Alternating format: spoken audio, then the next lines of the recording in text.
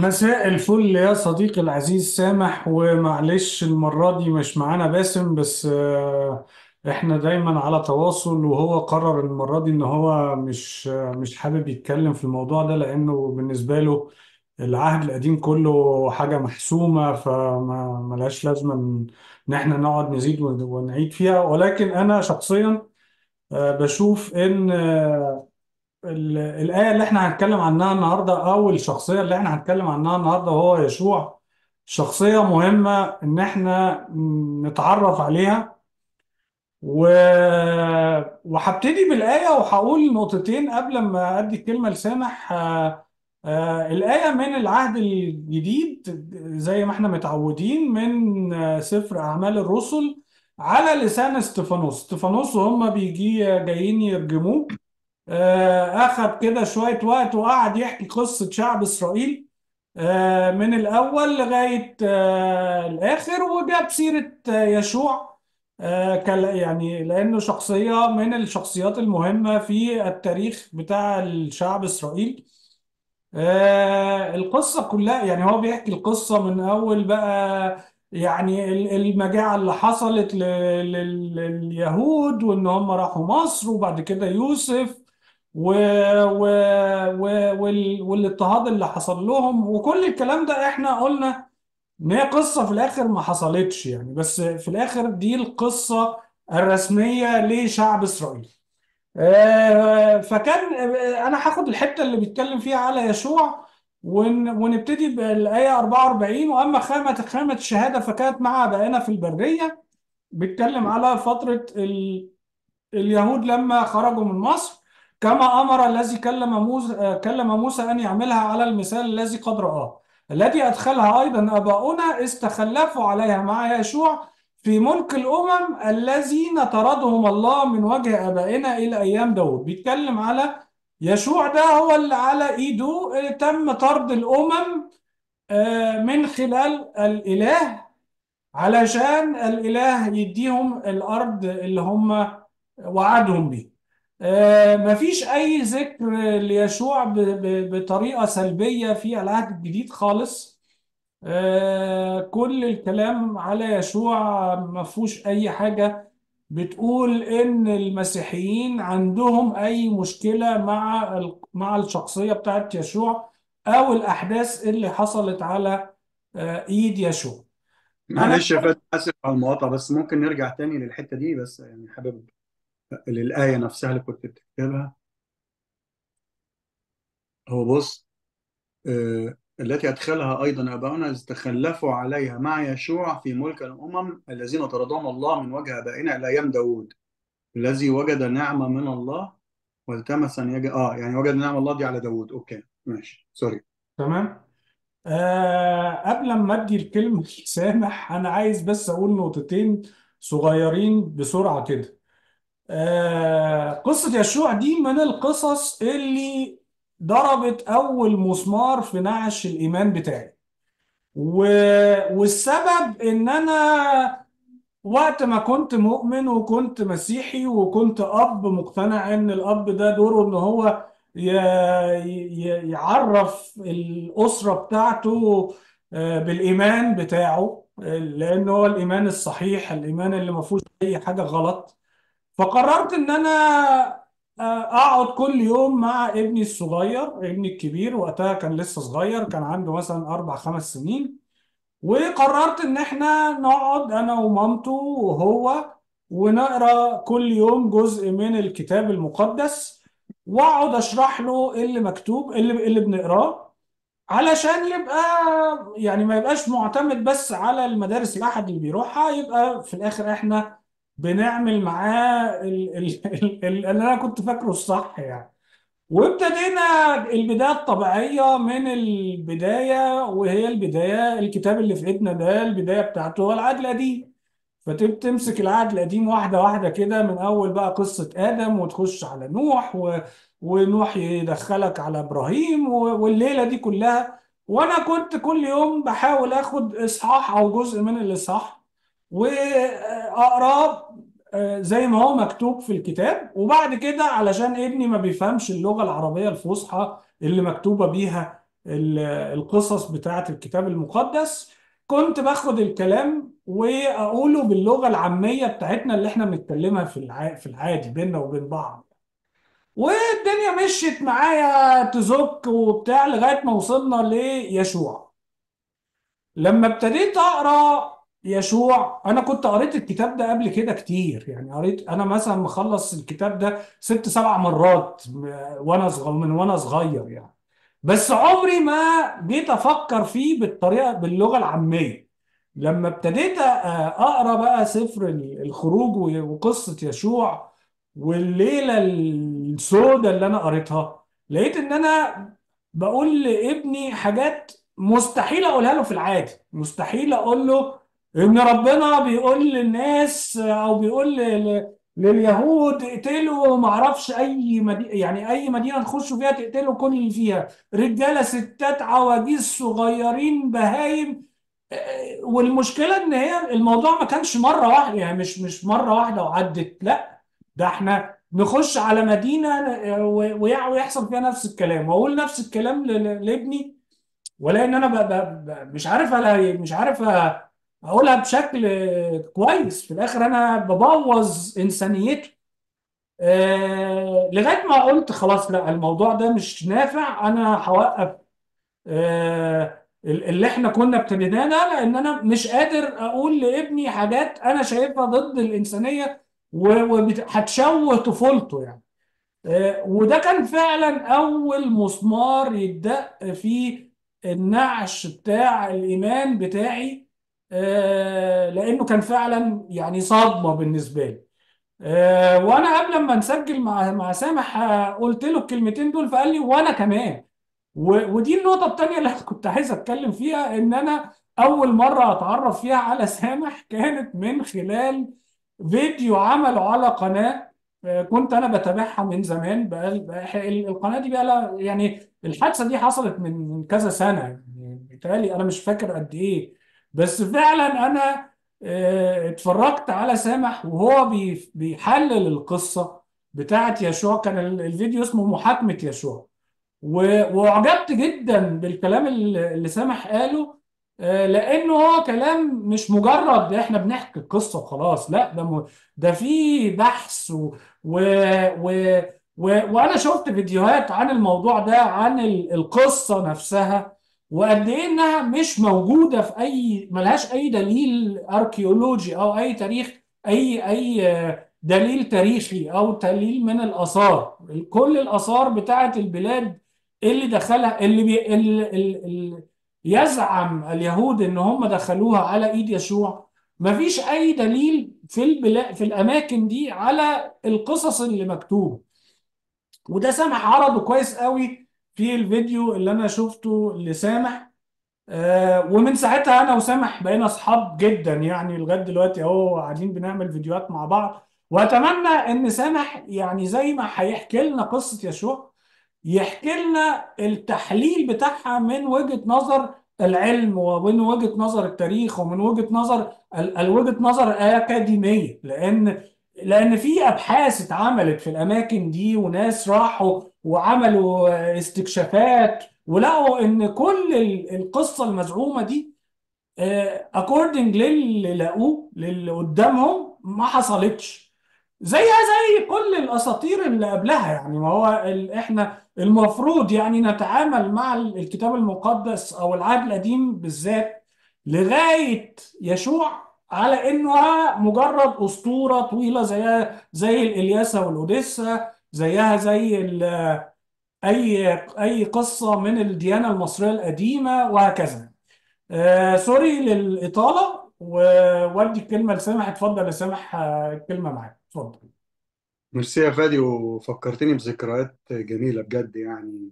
كانت قناة حلوة فعلا أنا اتعلمت منها كتير لما كنت بتابعها. وطبعا يعني أنا واللي عملوا معايا الحلقة ساعتها جوزيف والأصدقاء الغاليين الحلوين جوزيف ومايكل.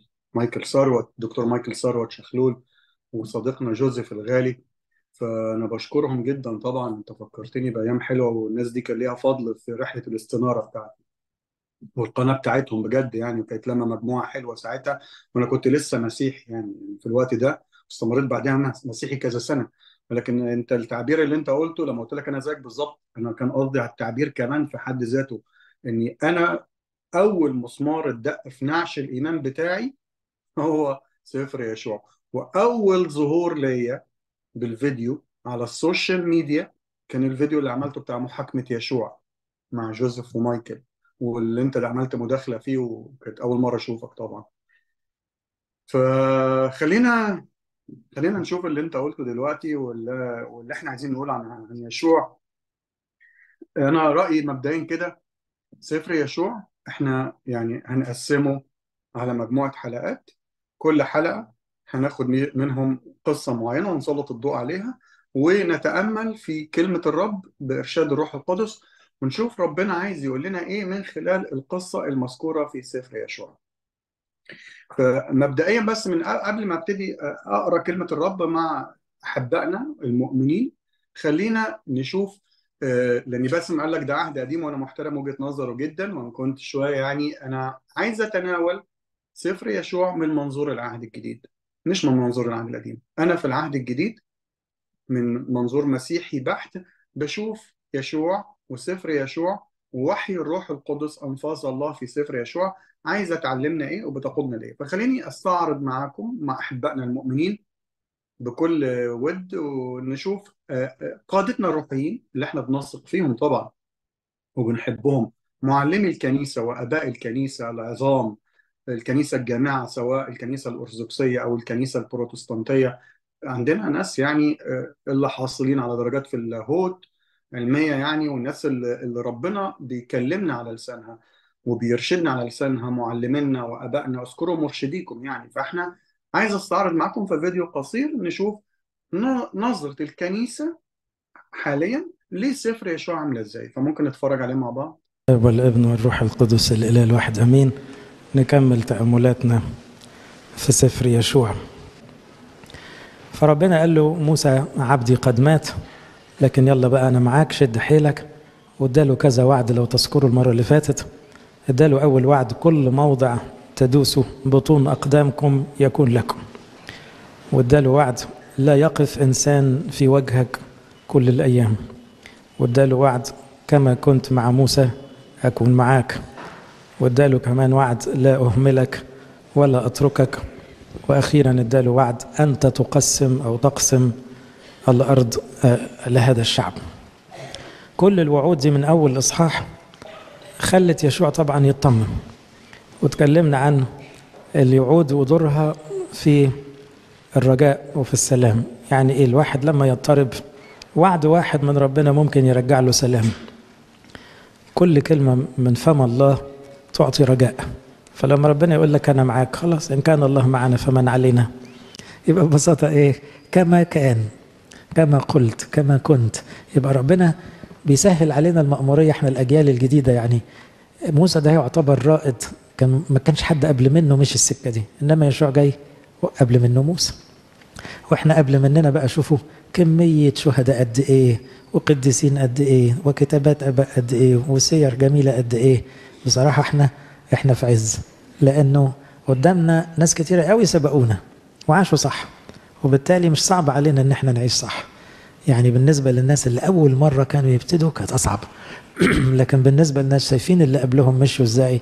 ما هيش صعب. هذه سر قوته. يد الله العاملة معه. يقول له لا أهملك ولا أتركك. حياة التلمذة اللي كانت تمهيد أربعين سنة.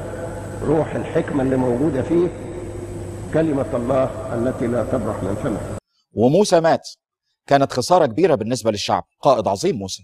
لكن الرب كان جهز قائد تاني علشان يتولى إدخال الشعب إلى أرض كنعان وتقسيمها زي ما الرب قال له. وده يشوع. لكن نعم وده يشوع ده طيب. يشوع ابن نون اللي زي ما سمعنا اسمه يهوى يخلص. معنى اسمه يهوى يخلص. لكن لكن يشوع يرمز إلى إيه هنا؟ يشوع يرمز إلى المسيح المنتصر اللي هو قائد لشعبه. اللي يقودهم إلى امتلاك كل البركات. آه، فرصتنا زي ما قلنا في البداية آه، مع سفر يشوع الحروب والامتلاك. والرب بيستخدم الأخ يوسف رياض معانا زي ما تعودنا. آه، الحلقات زي ما قلنا قبل كده موجودة على قناة ترنيم وخدمات عربية. وإحنا دلوقتي في انتظار نسمع كلمة الرب في سفر يشوع الحروب والامتلاك مع الأخ يوسف رياض. اتفضل يا أخي يوسف ربنا يباركك. شكرا أخونا صفوت سفر يشوع بيتميز بشوية حاجات أقولها قبل ما نبتدي في نخوض في السفر. أولا هو أول سفر يسمى باسم كاتبه. هنا أول الأسفار الذي يسمى باسم يشوع الذي هو على الأرجح كما نعلم هو كاتب هذا السفر. وإحنا عارفين إن أول مرة الرب يطلب من موسى إنه يكتب سفر كان في سفر الخروج أصحاح 17 وكان بالارتباط بيشوع. اكتب هذا تذكارا وضعه في مسامع يشوع. من هذا المنطلق يشوع شخصية لها أهميتها الخاصة. جاء ذكر يشوع قبل هذا السفر سبع مرات في الكتاب المقدس. لعل أشهرها خروج 17 عندما نجد يشوع رجلا محاربا. ثم سفر العدد أصح 13 حيث نجد يشوع رجلا مؤمنا. وفي الحقيقة جميل إن يشوع كان بخلاف الجواسيس اللي رجعوا قالوا ما نقدرش نروح الأرض. هو أن نقدر وها هو في هذا السفر يدخل ويمتلك. بالإضافة إلى ذلك نجده في سفر الخروج 33 لا يبارح الخيمة فهو رجل الشركة. يشوع من هذا المنطلق شخصية مهمة وليه سفر جميل يكلمنا عن الحروب والامتلاك. ده يعني باختصار مقتطفات أنا خدتها من عظات ل يعني أباء الكنيسة سواء الأرثوذكسية والبروتستانتيه وفي طبعا عظات كتير وأنا وفي كتابات كتير عن سفر يشوع كتير كتير جدا. ده سفر مهم زي ما قال أستاذنا يوسف رياض الواعظ الشهير ربنا يبارك حياته. ف يعني باختصار أنتوا شفتوا أبونا داود لمعي هو بيتكلم على الرجاء والسلام في سفر يشوع بيتكلم على العز اللي إحنا فيه. نتيجة إن إحنا قدامنا سبقنا آباء كتير زي يشوع وموسى فنتعلم منهم. وشفنا قداسة البابا شنودة معلم الأجيال وهو بيتكلم على روح الحكمة والتلمذة وكده. وشفنا يعني معلمين الكنيسة الإنجيلية اللي بيمكن ليهم كل الاحترام بنتعلم منهم دايما. يعني يشوع هو القائد معناه يهوى يخلص وهو بيرمز للمسيح المنتصر. وبيقول لك كلمة الرب في سفر يشوع. إحنا أنا جاي النهارده عشان أتأمل معاكم في كلمة الرب في سفر يشوع زي ما قال أستاذنا يوسف رياض. طبعا أنا متفق معاه شخصية لها أهميتها الخاصة دي حقيقة أنا فعلا متفق معاه ليها أهمية قصوى اثرت في حياتي أنا شخصيا. وهو راجل محارب ومؤمن وسفر جميل. يعني أنا عجبني اللي قاله الأخ يوسف رياض ربنا يباركه لما قال سفر جميل. فخلينا نتأمل مع بعض بس بشكل غير تقليدي في كلمة الرب في سفر يشوع في وحي الروح القدس. أنا مش حابب أبتدي دراسة الكتاب معاكم في هذا في هذا المساء المبارك بالطريقة التقليدية العادية. إني نمشي خطوة خطوة نمسك آية آية ونعلق عليها. سفر يشوع لو أنا مش غلطان هو 24 إصحاح وفي أحداث هامة جدا إحنا دايما في ذهننا اتعلمناها في مدارس الأحد بنسمعها في العظات في ترانيم عليها إن هي أحداث مهمة جدا في تاريخ الإيمان المسيحي وفي عمق الإيمان المسيحي.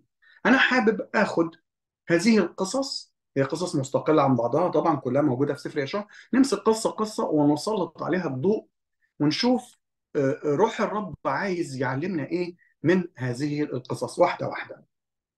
ومش لازم نمشي بالترتيب بتاع أنا إحنا في عدد معين من القصص مهم جدا عشان ما نطولش عليكم فإحنا هنعمل سفر يشوع على كذا حلقه في حلقة النهارده بنعمة الرب هنتكلم على قصة عخان ابن كرمي واللي عمله معايا يشوع دي موجودة في الإصحاح السابع. أنا هعمل إيه دلوقتي؟ أنا هقرأ معاكم الإصحاح السابع كله بدون أي تعليق مني وبعد كده أحب يبقى في تواصل مباشر بينا يعني شايفيني وأنا بتكلم ونتفاعل مع بعض مش مجرد إن الصورة موجودة فيها الايات وأنا بقى وبتسمعوني بس. فإحنا نقراها الأول وأنا طابعها قدامي بعد كده لما أحب أرجع لها وقدامي الكمبيوتر.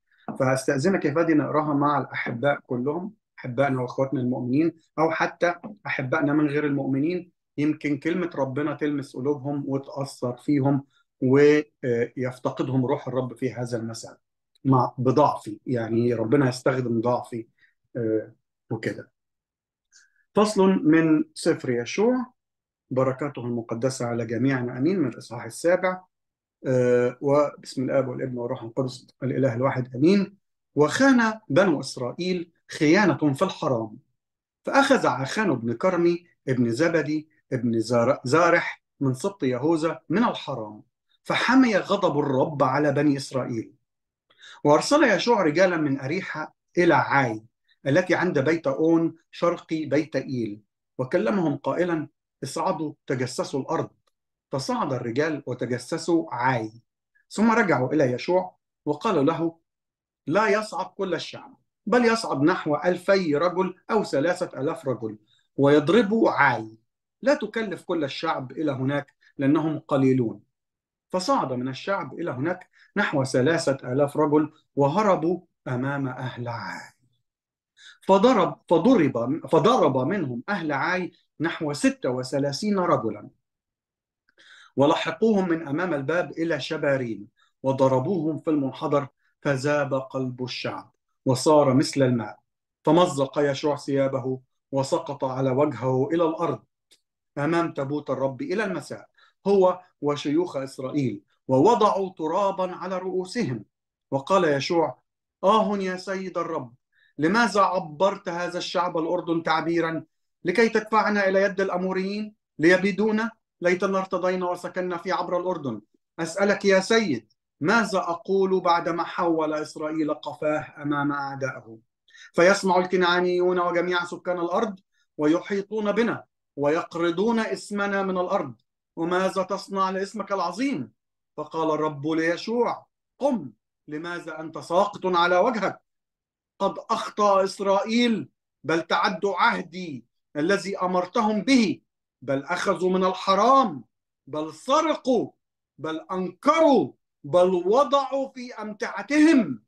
فلم يتمكن بنو إسرائيل للثبوت أمام أعدائهم. يديرون قفاهم أمام أعدائهم لأنهم محرومون. ولا أعود أكون معكم إن لم تبيدوا الحرام من وسطكم. قم قدس الشعب وقل تقدسوا للغد لأنه هكذا قال الرب إلى إسرائيل من وسطك حرام يا إسرائيل فلا تتمكن للثبوت أمام أعدائك حتى تنزعوا الحرام من وسطكم. فتتقدمون في الغد بأسباطكم ويكون أن السبط الذي يأخذه الرب يتقدم بعشائره والعشيرة التي يأخذها الرب تتقدم ببيوتها والبيت الذي يأخذه الرب يتقدم برجاله. ويكون المأخوذ بالحرام يحرق بالنار. هو وكل ما له لأنه تعدى عهد الرب ولأنه عمل قباحة في إسرائيل. فبكر يشوع في الغد وقدم إسرائيل بأسباطه فأخذ سبط يهوذا. ثم قدم قبيلة يهوذا فأخذت عشيرة الزارحيين.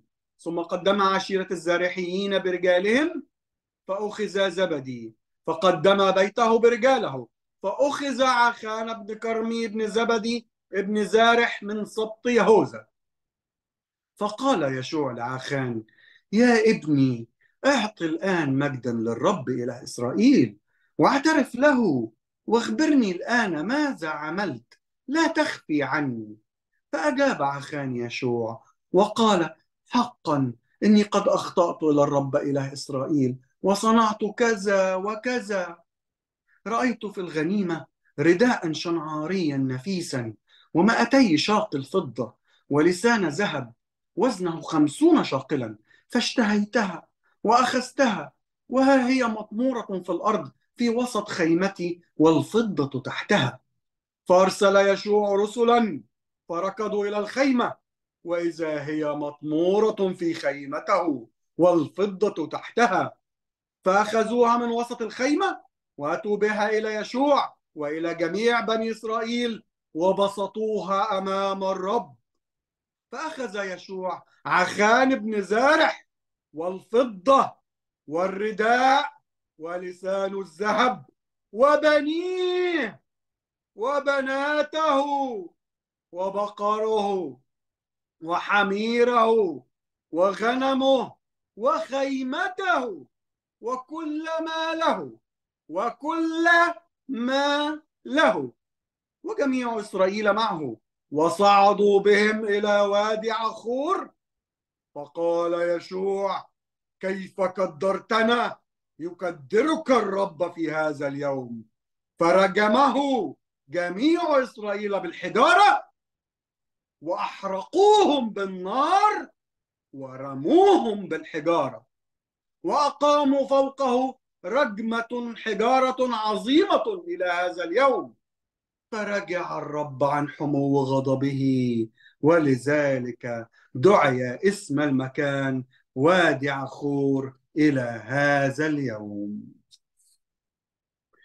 والمجد لله دائما أبديا أمين. لم تزل كلمة الرب تنمو وتزداد في هذه البيعة وكل بيعة آمين. بنعمة الرب هنتأمل في الإصحاح السابع في الكلام اللي قريناه مع بعض. ونشوف زي ما قالوا آباء الكنيسة سفر مهم وشخصية لها أهميتها الخاصة سفر جميل وهنستعرض مع بعض روح الحكمة والتلمذة زي ما قال قداسة البابا وزي ما القائد ومعناه يهوى يخلص وهو يشير إلى المسيح المنتصر. ونتأمل في كلمة الرب في سفر يشوع طبعا أنا أجي فين؟ أنا جنب الآباء العظماء اللي عملوا فيديوهات وتأملات وكتابات في سفر يشوع فأنا هستعرض معاكم حاجة بسيطة. إحنا دلوقتي نحكي الحكاية مع بعض بالراحة. تمام؟ إحنا عندنا يشوع بن نون اللي عايز يقرا السفر بتاعه يقراه بس إحنا ما اقتطعناش القصة من السياق يعني أي حد يرجع أنا واخد الإصحاح من أوله من بداية القصة لنهايتها قبل الإصحاح السابع اللي هي القصة دي كانت قصة تانية خالص مش متعلقة بالقصة دي خالص. وبعد الإصحاح السابع دخل في قصة بعدها. هنستعرض القصص دي في حلقات قادمة. مش هنسيب حاجة يعني. وهذا الإصحاح كله قريناه فإحنا مش مقتطعين أي حاجة من سياق.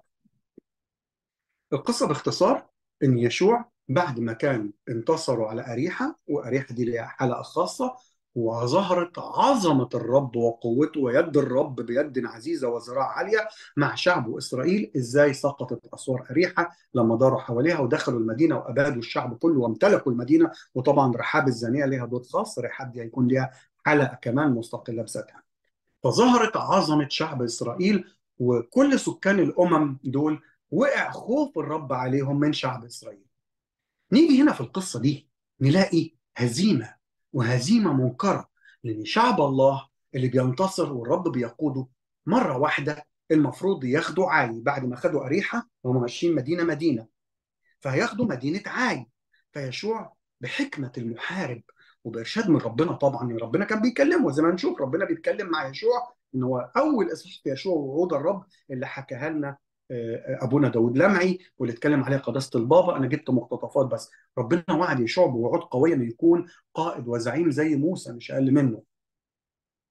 ففي يشوع والله مع بعض. فيشوع بعت جواسيس وجوله الجواسيس زي ما القصة حكت أنا بحكيها بالبلدي زي ما كان يسوع زي ما كان فادي بيحكي لاولاده فيشوع بعت الجواسيس جم الجواسيس قالوا له دي عاي مدينه صغيرة. مش مستاهلة نروح بالجيش كله بتاعنا والشعب كله والمحاربين بتوعنا. العتاوله إحنا كفاية ناخد لنا 2000 3 من المحاربين دول. وده شعب قوامه خارج من مصر قوامه في حدود 2 مليون. فإحنا مش مستاهلة ناخد كل المحاربين. يعني 2 مليون بالرجال والستات والأطفال. فشوفوا كم عدد المحاربين هيبقى رهيب وفي سفر العدد ممكن تلاقي كام جبار بأس. ف 2003 وفعلا يشوع بعت 3000 من المحاربين. طبعا يخلصوا على المدينة المفروض. فوجئوا إن ال 3000 اتهزموا قدام المدينة الصغيرة خالص عاي واتقتل منهم 36 في 36 واحد اتقتلوا.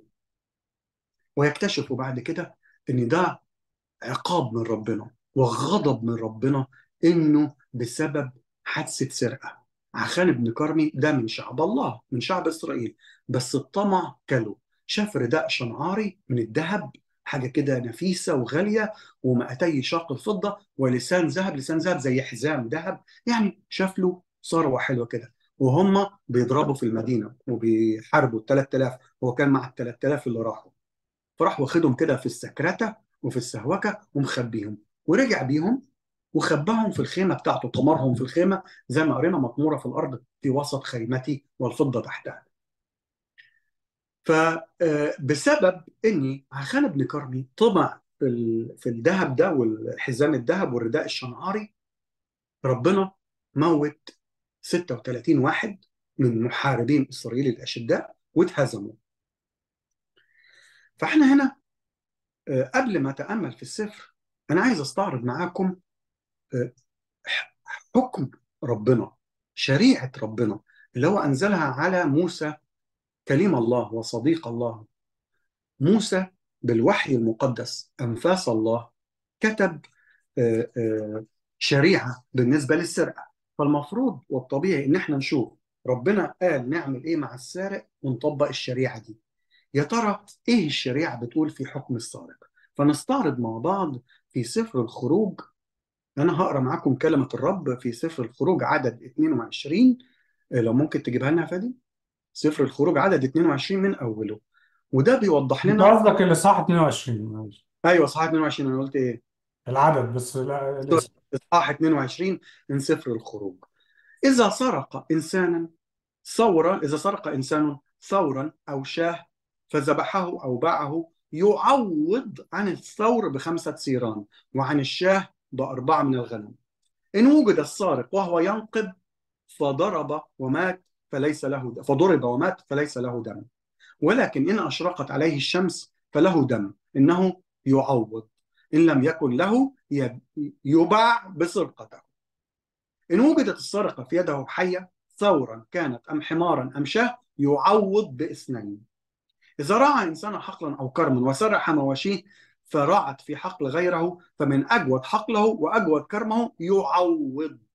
إذا خرجت نار وأصابت شوكا فاحترقت أجداس أو أذرع أو حقل فالذي أوقد الوقيد يعوض. إذا أعطى إنسان صاحبه فضة وأمتعة للحفظ فسرقت من بيت الإنسان فإن وجد السارق يعوض باثنين وإن لم يوجد السارق يقدم صاحب البيت إلى الله يقدم صاحب البيت إلى الله ليحكم هل يمد يده إلى ملك صاحبه. في كل دعوة جناية من جهة ثور أو حمار أو شاه أو ثوب أو مفقود ما. يقال أن هذا هو تقدم إلى الله دعواهما فالذي يحكم الله بذنبه يعوض صاحبه بإثنين. وهكذا. خلاص يا فادي ممكن نشيله. إلى آخر الإصحاح كلمة ربنا حية وفعالة وأقوى من كل سيف ذي حدين كلمة ربنا واضحة لا التباس فيها ولا غش فيها ولا لبس فيها. فربنا في شريعته هو اللي قايل لموسى اكتب الكلام ده. ده في إصحاح 10 في سفر الخروج. وما باش من إصحاح 10 بيرص وبيكتب وبيدون موسى ورا الوحي المقدس أنفاس الله إيه اللي يحصل وإيه الأحكام. فده حكم السارق. يعوض. يعوض بقى بأربعة بخمسة بإثنتين على حسب قيمة الحاجة وظروف الحاجة زي ما شفنا إذا كان غصب عنه إذا كان قاصد إذا اتمسك بسرقته على حسب الحالة بيقضي القاضي أو من له حق القضاء في إسرائيل سواء النبي أو القضاء أو whatever دي شريعة موسى. فالسرقة يعوض عنها. ما بيقطعوش يد السارق في شريعة موسى زي ما ناس كتير فاكرة زي الشريعة الإسلامية لأ السارق يعوض. إذا نعود إلى كلمة الرب في سفر يشوع. نرجع لسفر يشوع. طب إحنا دلوقتي قدام حادثة سارقة. حادثة السرقة دي المفروض إن الشريعة دي نزلت على موسى. وفي وجود يشوع يشوع تلميذ موسى النجيب. أهم تلامذته هو اللي تسلم القيادة بعده. فهو حافظ الشريعة في قلبه. المفروض الطبيعي إن يشوع يطبق الشريعة على عخان ابن كرمي. طب يا ترى يشوع عمل إيه مع عخان ابن كرمي؟ حسب الشريعة اللي هي كلمة الله وأنفاس الله ووحي الله وأوامر الله. أنا هستعرض لكم بسرعة تاني عمل إيه؟ أنا هقرأ من عندي مش لازم تجيبها فادي عشان الناس تبقى معانا وشايفة ومتابعة.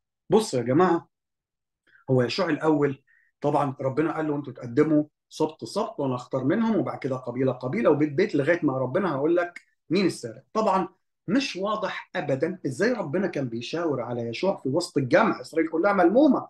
في كارثة يا جماعة حصلت اليوم ده. أنتم متخيلين اولا الهزيمة المعنوية اللي تعرض لها شعب إسرائيل في هذا اليوم؟ إن هم بعد الانتصارات العظيمة ووعود الرب ليهم وبتتنفذ مرة واحدة يتهزم هذا الشعب الجبار وهذا الجيش الرهيب قدام مدينة صغيرة اسمها عاي ب 3000 محارب من جبابرة البأس ويتقتل منهم 36 فهزيمة معنوية وهزيمة مادية وزعل وحزن لدرجة إنه زي ما قرينا كده يشوع شق هدومه ولام على ربنا. هو أنت يا رب مخرجنا عشان نتهزم. طب هيتقال علينا إيه دلوقتي بين الأمم؟ بعد ما كنا ابتدينا نسيطر ونثق بياخد ويدي مع ربنا اللي هو نعمل إيه؟ فربنا بقى استجاب له وقال له لا عشان في خيانة في كارثة في سرقة. وربنا بقى موت ال 36 بسبب السرقة دي. وهنشوف حصل إيه. فاللي حصل إني مش عارفين يشوع بقى روح ربنا أرشده إزاي وسط الناس دي؟ فعرف إنه عخان ابن كرمي يعمل إيه مع عخان ابن كرمي حسب الشريعة المفروض يقيموها ويشوف عخان يعوض بقد إيه بقى كام ضعف. وخلصت على كده. ويقدم عنه ذبيحة خطيه وذبيحة محرقة حسب الذبائح والراجل يتوب. لأن عخان قال له أهو أخطأت يا رب. يعني يشوع بيتعامل بحنية. بيقول له إيه؟ يا ابني. أهو فقال يشوع لعخان يا ابني اعط الرب مجدا.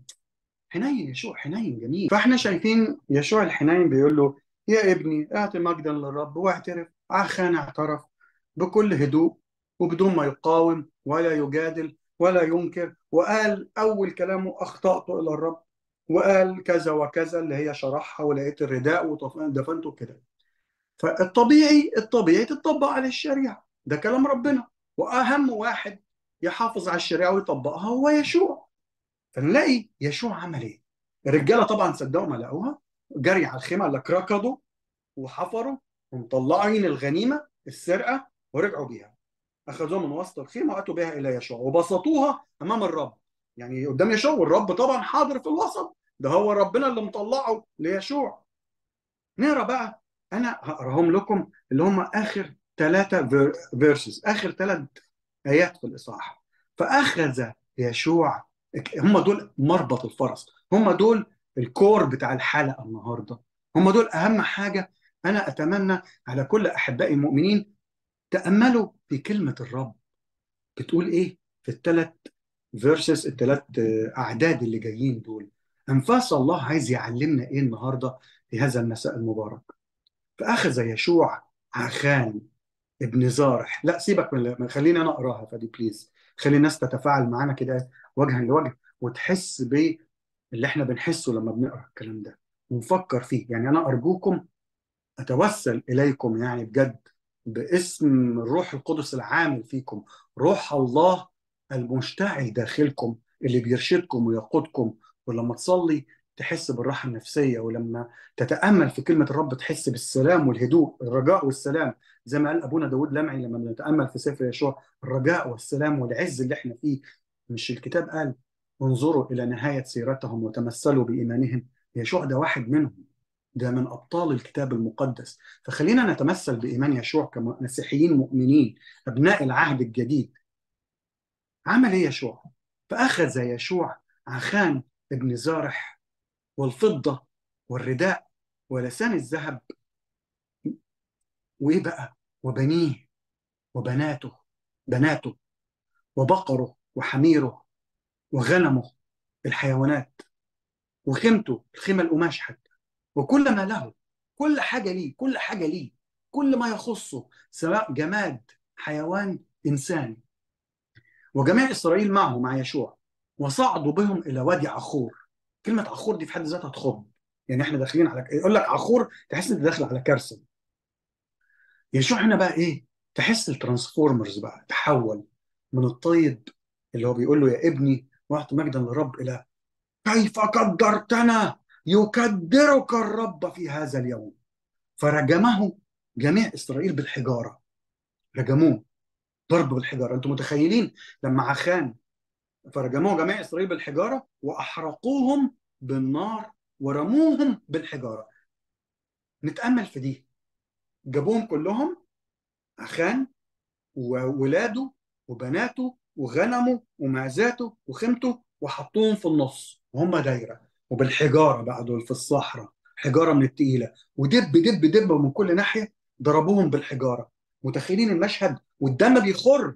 اطفال معاه عيال عيال عيال وبنات مراته ولاده هو الحيوانات الغنم والبقر والحمير كل ده بيتضرب بالحجارة من كل ناحية. حجارة بأحجام ضخمة والدم ينزل وبتاع والدماغ تتفتح وكل حتة كل حتة لغاية ما ماتوا. وبعد كده إيه؟ أحرقوهم بالنار. طب ما هم ماتوا بالحجارة ماتوا من الرجم. ده تمثيل بالجثث. بعد كده أحرقوهم بالنار بعد ما ماتوا من الرجم. طب وبعد ما أحرقوهم بالنار رموهم بالحجارة راحوا مكومين عليهم حجارة فضلوا يرموا عليهم حجارة تاني بعد ما اتحرقوا. أنتوا عارفين يعني إيه جثة بني آدم ميتة تتحرق وبعد كده يترمي عليه حجارة تاني؟ يقول لك إيه أقاموا فوقه كلهم يعني رجمة حجارة عظيمة إلى هذا اليوم.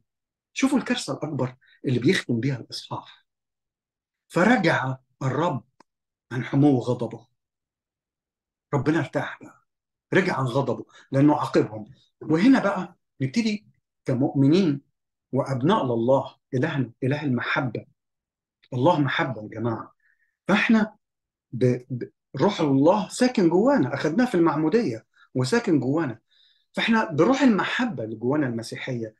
أنا كمؤمن مسيحي واستمعت إلى آباء الكنيسة زي ما استعرضنا سواء بروتستانت أو أرثوذكس بيتكلموا على الجمال اللي في سفر يشوع من هذه القصة القصة خلصت عند كده. بعد كده بيكمل في حتة تانية خلاص قصة خلصت قصة عخان بن كرمي تفتكروا أنا بسألكم بكل صدق وبكل إخلاص وبإنسانية خالصة بسأل من قلبي وبسأل بعقلي بسأل كل أحبائي المؤمنين من كل الطوائف. إحنا إيه اللي نتعلمه من قصة يشوع مع عخان بن كرمي النهارده؟ يعني أنا عايز تركزوا لي على الجوانب اللي فيها رحمة وفيها محبة فيها غفران لأن يسوع هو هو أمسا واليوم وإلى الأبد. الله هو هو أمسا واليوم وإلى الأبد. يسوع هو عقل الله الناطق ونطق الله العاقل موجود منذ الأزل. فالله اللي اختار عخان بن كرمي وقال وأرشد يشوع عليه والله اللي هو رجع عن حمو غضبه بعد ما حصل انتقامهم من عخان وكل اللي معاه هو يسوع.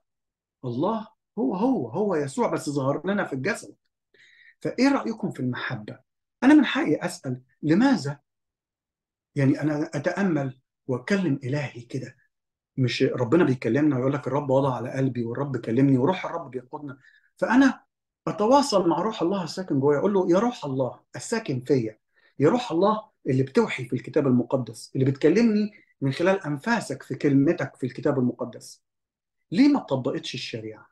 اللي أنت حاططها بنفسك يا روح الله ليه ما طبقتش الشريعة على عخان طيب ليه عخان يتقتل ومعاه بنيه وبناته. ذنب بناته إيه؟ يعني ذنب بنات عخان إيه؟ ايا كانت أعمارهم. ذنب بنيه إيه؟ ذنب كل ما له معناها مراته ولو عنده أي حاجة. طب ذنب الحيوانات إيه؟ ليه الانتقام البشع ده بسبب حادثة سرقة. وأي حادثة سرقة تستاهل يتعمل فيه ده كله. من حقي أسأل كمان ليه يا جماعة التمثيل بالجثث؟ يعني أنتوا قتلتوه يعني ده مش ماشي مع الشريعة خالص. طب ليه تمثلوا بجثثهم؟ جثث الناس دول بعد ما رجمتوهم بالحجارة تحرقوهم لغاية ما يتفحموا وبعد كده تكوموا عليهم حجارة عظيمة. طب وليه رجع الرب عن حمو غضبه يعني ليه يا رب انت غضبت الغضب ده كله؟ ليه بسببهم من الأول موتت 36 واحد من المحاربين فالشعب اتهزم فمات 36 واحد بسبب السرقة؟ هل ده عدل؟ هل دي رحمة؟ فأنا محتاج يا جماعة كمؤمن مسيحي أتأمل في كلمة الله عشان أشوف أنا استفدت إيه لما قريتها النهارده. بكل هدوء بكل محبة بكل وداعه نحن نتساءل. هذه كلمة الرب التي يتم بها الوعظ على المنابر في العهد الجديد من كنيسة المسيح بطوائفها المختلفة برجالها المختلفين. أنا جبت أمثلة بسيطة من الكنيسة الأرثوذكسية وكبار قادتها والكنيسة البروتستانتية. أنا عايز أقول لكم للأمانة كمية الوعاظ اللي بتوعظ عن سفر يشوع بكل المحبة والرحمة والتسامح اللي فيه سفر جميل زي ما قال لك يوسف رياض. البابا شنودة قال لك روح الحكمة والتلمذة اللي في يشوع إنه تلمذ على ايد موسى. أبونا داود لما قال لك الرجاء والسلام. طب يا جماعة فين المعاني دي؟ أنا عايزكم معايا نشوف فين المعاني الرجاء والسلام. فين روح الحكمة والتلمذة؟ فين السفر الجميل ده؟ أنا عايزكم تشاوروا لي على الحاجات دي. يعني نورونا فكروا وحسوا. محتاجين فكر. محتاجين إحساس. أنا استعرضت معاكم كلمة رب في هذا المساء. وأتمنى إن كلمة ربنا تلمس قلب كل إنسان بيسمعكم بيسمعها منكم. فالمؤمن يزداد إيمانا وغير المؤمن يتشد لإيماننا الجميل الحلو ليسوع الحنين لله الحنين وأبطال الكتاب المقدس زي يشوع اللي ننظر ليهم ولسيرتهم ونقلدهم ونعمل زيهم في حكمتهم. أشكركم. ربنا يبارككم يا رب وامضوا بسلام سلام الرب يكون معكم آمين. ميرسي يا سامح على الوعظة الجميلة دي. أنا أنا عندي تعليق على ال على ال على القصة دي. التعليق هو إن أغلب ال أغلب المسيحيين للأسف اللي أنا أعرفهم يعني بيقروا الكلام ده وعارفين القصص دي وما عندهمش مشكلة خالص مع القصص دي. وفي نفس الوقت بيدعوا إن المسيحية دين محبة وإنسانية و... و... وسلام وكل الحاجات الغريبة دي. آه، ولكن في نفس الوقت برضو هتلاقي إن الصلوات بتاعت الكنيسة آه، بتقتبس أجزاء من العهد القديم وخاصة في فترة الصوم وأسبوع الآلام لأن هم هيتكلموا على العبور و... وال... وال... والقصص اللي إحنا عارفينها دي اللي هي في رأيي لا تمت للإنسانية بصلة. و... و... وأنا رأيي إن كتر تعرض الناس للقصص دي و... وتقديس القصص دي واعتبارها إنها قصص جميلة بنقعد نتأمل في حلاوتها وأنا ما أعرفش إيه الحلاوة في أي حاجة من الحاجات دي خالص يعني. ولكن أنا عارف إن المسيحيين بيتأملوا وبيطلعوا حاجة كويسة من القرف اللي إحنا شايفينه ده. هو بالنسبة لي قرف لأنه حاجة ما أقدرش أتخيلها وما أقدرش أقولها لعيالي وما أقدرش أطبقها وما أقدرش أقبل إن في إله لو افترضنا يعني إن في إله إنه يكون بال بال بال بالوحشية دي. يعني أنا ما أقدرش أتخيل كل الحاجات دي. وده أهم سبب على فكرة في تركي للايمان لأن أنا بني في الأول والآخر إنسان. بحاول أبقى إنسان أتعامل مع بقية البني آدمين بإنسانية وما أقدرش أقبل أي قصة من القصص دي آه، ولا في العهد القديم ولا في العهد الجديد ولا في أي وقت. خاصة إن الكنيسة والعهد الجديد وكل الآباء ما بيقولوش أي نوع من أنواع الانتقاد لأي قصة من قصص العهد القديم وبالتالي أفهم من من من كده إن هم موافقين وعاجبهم والدليل إن هم بيقعدوا يتأملوا فيه زي ما سامح جاب الفيديو بتاعه. آه، أنا عندي مشكلة الحقيقة مع المؤمنين المسيحيين لأن أنا بقيت في تعاملي معاهم بحس إن هم يفتقدوا للإنسانية تماما. مهما قعدوا يقولوا إحنا عندنا الإنسانية والمحبة والله محبة وال وال والهجس ده يعني أنا بالنسبة لي ده كله هجس تماما لأن هم عمرهم ما قالوا أي قصة من القصص دي غلط أو أي قصة من القصص دي ما ينفعش تنسب للإله. وده بي بي بي بيget manifested أو بي بيظهر بقى في سلوكياتهم.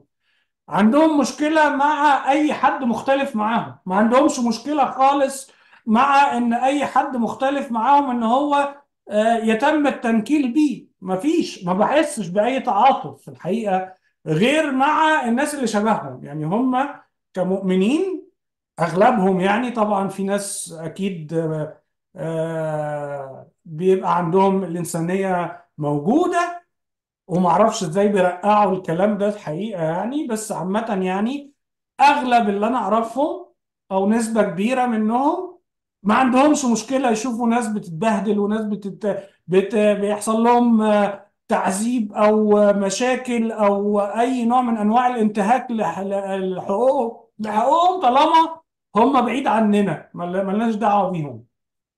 بشوفها كتير يعني في مواقف كتير. بشوف إن هم ما عندهمش أي نوع من أنواع التعاطف مع آه، المثليين مثلا. دايما شايفين المثليين دول خطاة و... وبيغضبوا ربنا وربنا ممكن ينتقم مننا بسبب وجود الناس دي وسطنا وعندهم مشكلة معاهم و... وال... وال... والكيوت اللي فيهم بيحاول يقول لك أنا عايز أعالجهم مع إن هو ده مش مرض ولا في أي حاجة الطب النفسي بيقول إنها مرض نفسي مفيش يعني. علميا الناس دي ناس طبيعية زيهم زي أي بني آدم عادي زيهم زي أي الكائنات اللي موجودة في الحياة في تنوعات في الميول الجنسية. وبالتالي الناس دي ناس عادية بالنسبة للعلم وبالنسبة للإنسانية وبالنسبة لأي حد ما عندوش أي نوع من أنواع الكره لأي إنسان. ال- ال- القصص دي في رأيي قصص مدمرة نفسيا بتشوه ال- ال- النفس البشرية طالما أنت بتقدسها. وأنا عندي مشكلة حقيقية في إن أنا أبقى عارف إن أنا ليا ناس قرايبي واصحابي وما أعرفش إيه شايفين إن القصص دي قصص جميلة وقصص فيها تأملات ظريفة و... وإن شخصية يشوع دي شخصية كيوت وجميلة وحلوة وهو مجرم أصلا. سفاح ال- آه يعني يعني يعني أقل حاجة تتقال عليه إنه مجرم مجرم سفاح قاتل آه بني آدم. قصة. دي أول قصة. فلما بنعمة الرب نستكمل تأملاتنا في سفر يشوع ونخلصه كله هنصل إلى نتيجة لما يقودنا روح الله في في البحث هنستخلص إنه يشوع سفاح محترف. ده حقيقي يا سامح. وأنا زي ما بقول لك كده ده كان أول مسمار في نعش الإيمان بتاعي لما ابتديت أقرأ الكتاب آه وأقوله باللغة اللي إحنا بنتكلمها. لأن فعلا أنا كنت قريته قبل كده و- وعديت وعدت. آه، اكتشفت إن فعلا القصص دي قصص مدمرة و- و- وفعلا منعت نفسي إن أنا آه، أتكلم مع العيال في الحاجات دي تاني. لأن أنا لقيت إن أنا لو اتكلمت مع الح- مع العيال في الحاجات دي تاني ابقى أنا بأذيهم وببوظ طفولتهم وإنسانيتهم آه، وبخليهم ناس فاقدين للإنسانية. هو هو فعلا الأديان خاصة الأديان الإبراهيمية هي بتعمل دي هيومانيزيشن للبني آدم. الإنسان آه، في حاجات كتيرة بتأثر عليه الحاجات دي ممكن تنتزع إنسانيته منه. منها الأفكار الهباب وال... وال... وفعلا الجرائم اللي الناس بتشوفها على إنها حاجات جميلة. وفي الآخر يقول لك أصل الإله آه الإله كيوت وجميل بس في نفس الوقت هو عادل. هو هو هل من العدل؟ يعني لو افترضنا يعني إن إن إن عخان ده عمل بلاوي سود هل من العدل إن أنا آه، أعمل عقاب جماعي لأهله؟ خليني أستعرض حتة مهمة في العقاب الجماعي لأهله دي. أرجوك تجيب لنا الآية بتاعة سفر التثنية إصحاح 24 عدد 16 بصوا يا جماعة روح الرب أنفاس الله في الوحي المقدس بيتكلم على لسان موسى النبي في العهد القديم. سفر التثنية إصحاح 24 عدد 16 ولا يقتل الآباء عن الأولاد. ولا يقتل الأولاد عن الآباء. كل إنسان بخطيته يقتل. كل إنسان بخطيته يقتل. شكرا يا فادي. مع إنه برضه في حتة تانية في موقع آخر مش هنجيبها دلوقتي الناس حافظاه. يفتقد ذنوب الآباء في الأبناء حتى الجيل الثالث والرابع. وأنا في هذا الموقف لا يفوتني أن أذكر التيمة بتاعت كل حلقة العظيمة يسرى كده ينفع وكده ينفع. تمام. أنا بس فعلا عايز أي حد بيتفرج علينا إن هو يعني يتخيل المواقف دي بتحصل مع عيلته. ب ب يعني ب يعني هل مثلا واحد سرق أروح قتله قتل كل ولاده وبناته و- والليلة وأحرق بيته وكل الكلام ده علشان ربنا اللي هو المفروض بتاع المحبة واللي علمنا المحبة وبعت الناس دي كلها علشان تعلمنا الطريق السليم والقويم علشان نعيش حياتنا في سلام و... ونتنعم بنعيمه لما نموت. وكل الهرس ده هل في إله حد ممكن يقبل إن الإله اللي هو بيعبده يكون بال بال بال بالوساخة دي؟ أصل ملا- ملهاش ملهاش تفسير ملهاش تعبير تاني أنضف من كده. يعني أنا أنا فعلا بحاول أنقي بلاقي ألفاظي علشان يعني بيقولوا إن إحنا ناس قبيحه وكده مع إن الحقيقة القباحه عمرها ما توصل للي إحنا بنشوفه ده خالص يعني. آه، وأنا حزين وأنا بتكلم لأن أنا بتكلم على ناس أنا أعرفهم كويس ناس اتربيت معاهم عشت معاهم آه، اكلت وشربت معاهم آه، آه، خرجت واتفسحت وليا ذكريات كويسة معاهم. ولكن اكتشفت إن هم ما عندهمش أي مشكلة مع القصص دي بالعكس ده شايفينها جميلة وبيرنموها ويتكلموا على أريحة. وكأن الناس اللي, اللي, اللي القصص لأن القصص كلها عبارة عن قتل هو ما فيهاش غير قتل حقيقة يعني. ف... مش قتل يا فادي. يعني أنا في حتة من المشاكل الأخلاقية اللي في القصة دي بتوجعني شوية كمان كلها موجعة. التمثيل بالجثث. يعني أنت رجمتهم بالحجارة وأي حد يتفرج على مشاهد الرجم يعني في فيلم عن رجم فيلم إيراني عن رجم الثوريه بطلة الفيلم وتشوفها وهم حاطينها وبيرجموها بالحجارة من كل ناحية والمشهد الحجر الصخرة لما تضرب وعينيها وتدوخ وتقع والدم مشهد بشع مشهد الرجم بشع يا جماعة. فأنت متخيل أنت جايب راجل ومراته وبنات وولاده وحيوانات حواليهم وكمية صخور نازلة عليهم من كل حتة فماتوا. وبعد كده بتحرقهم. ليه التمثيل بالجثث ده؟ ليه كده؟ كل ده ليه؟ يعني ليه الرجم لمن يست... لا يستحق؟ والأبرياء وبنات وحيوانات. ليه الحيوانات وليه الأبرياء دول؟ وكمان التمثيل بالجثث بهذا الشكل الصعب. وده بيدينا دلالة قوية. قد إيه ربنا رحيم وقد إيه ربنا حنين وقد إيه ربنا رحمته واسعة يا جماعة وبيقبل الكل. قد إيه ربنا ده لذيذ. مش يعني مش الواحد يقول وجدت كلامك حلو فأكلته. يقول لك أحلى من العسل والشهد. دي كلمة ربنا شايفين يا جماعة كلمة ربنا حلوة إزاي شايفين كلمة ربنا بتبني الإنسان من جوه إزاي؟ شايفين روح الله حلو إزاي؟ شايفين ربنا بيعمل إيه مع الإنسان؟ يسوع الحلو الطيب الحنين شايفين الحنية؟ هم بيشوفوا الحن... هم بيعرفوا يطلعوا الحنية ما أعرفش إزاي بس بيطلعوها سامع و... وهي الفكرة إن ال... لو لو إحنا كنا عايشين مثلا من 300 سنة أو أكتر يعني أو أو أبعد يعني عمرنا ما كنا هنسمع عن الكيوتنس والإنسانية والهجس ده ده ده كل ده هجس اتعمل لما حصلت الثورة الفكرية والفلسفة الإنسانية اللي ظهرت في في في أوروبا. فهو كان من من من اللازم ومن الضروري إن يحاول القائمين على الكنيسة في أوروبا إن هم يصوروا الدنيا على إنها كيوت برضه. ما إحنا يعني أنتوا طلعتوا الفلسفة الإنسانية أنتوا كفلاسفة ما لكمش دعوة بالدين.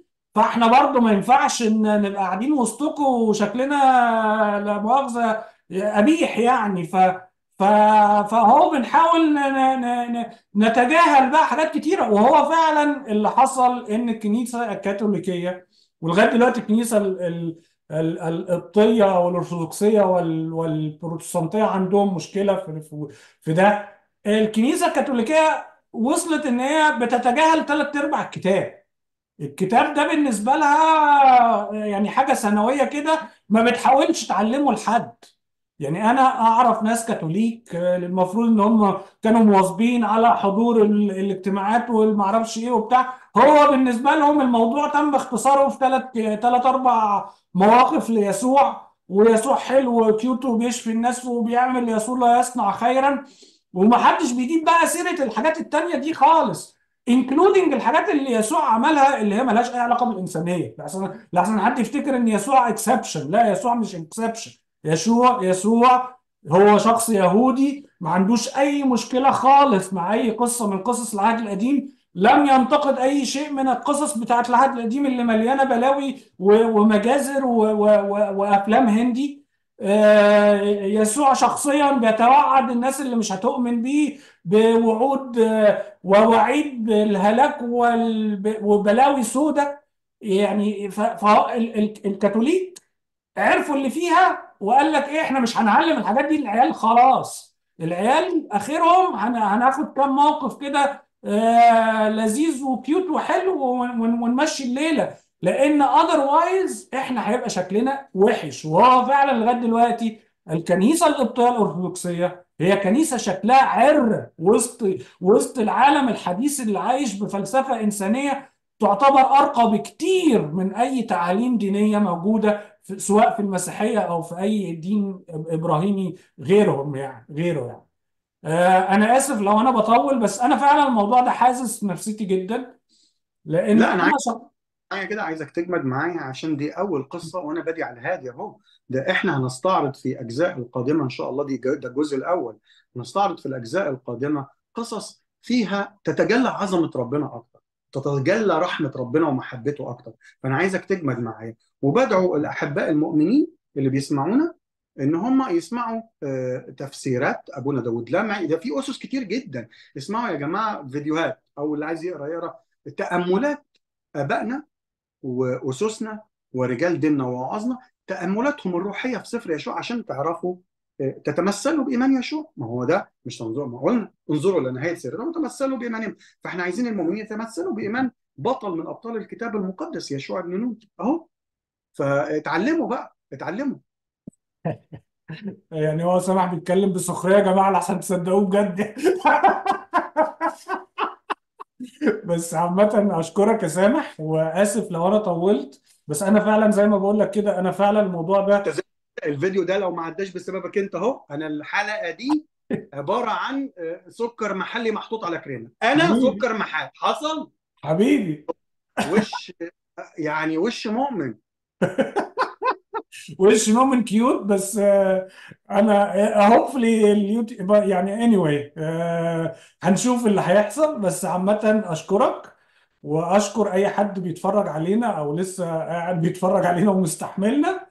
ونتقابل ال- ال- المرات الجاية ونكمل مع يشوع لأن هو فعلا يشوع ده المفروض إن هو يكون لحظة فارقة في حياة أي مؤمن يسعى إلى الإنسانية ده لو هو عنده أي نية إن هو يبقى عايز يبقى إنسان حقيقي بيعرف يتعامل مع الناس بشكل إنساني آه، مش بشكل آه، اللي إحنا شايفينه ده لأن هو فعلا القصص دي قصص صعبة. أنا أنا ما أقدرش أقولها لعيالي وما أقدرش أقولها حتة لاي انسان صغيرة حتة تشويق صغيرة للحلقة ال- الجايه في سلسلة يشوع. هنتكلم عن معجزة من أهم معجزات الكتاب المقدس يا أحبائي ومن أهم معجزات يشوع ودي معجزة أي مؤمن مسيحي لما يقراها شعر راسه لو هو مش اقرع زيي شعر راسه يقف من عظمة ربنا وقوة ربنا. فتحس بثبات كده وثقة في إلهك من قوة المعجزات اللي حصلت. فهنستعرض معجزة من أهم معجزات الكتاب المقدس. تمام يا سامح ميرسي. ميرسي وشوقتنا للحلقة الجاية. علشان أنا عايز شعري يقف شوية علشان الحلاق يعرف يقصه بسهولة. حبيبي يا سامح. يلا نشوفك على خير وشكرا وشكرا لكل الناس وسلام.